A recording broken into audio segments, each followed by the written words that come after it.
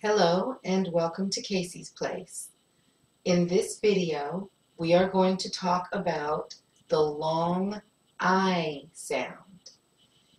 If you notice, I has two sounds in it. I, I.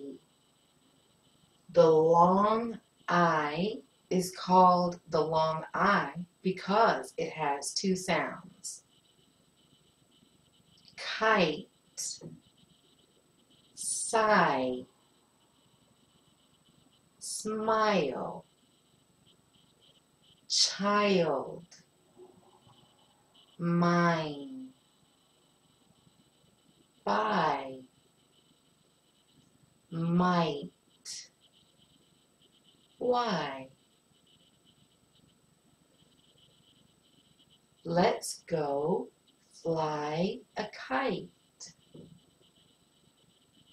When I am sad, I will sigh. If you smile, you let the world know that you are happy.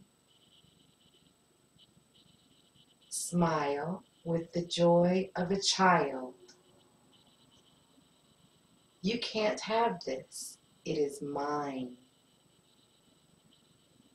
Let's go buy a new book. I might learn something new if I read a book.